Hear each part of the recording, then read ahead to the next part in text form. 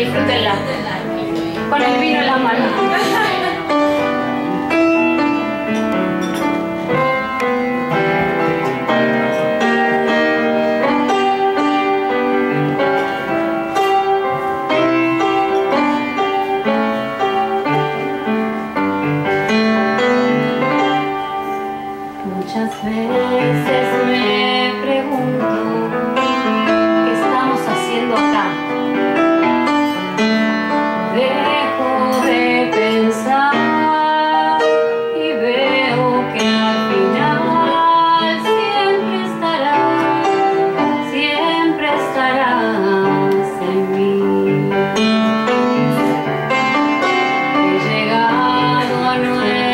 shopping.